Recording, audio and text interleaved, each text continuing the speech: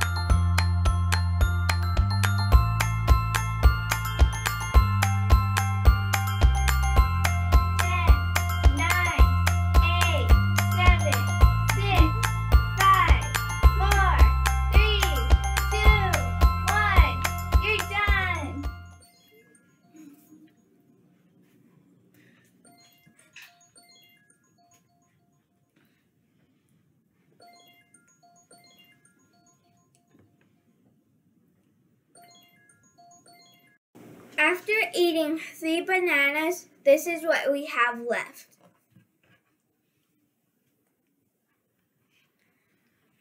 And Chloe is our winner for today.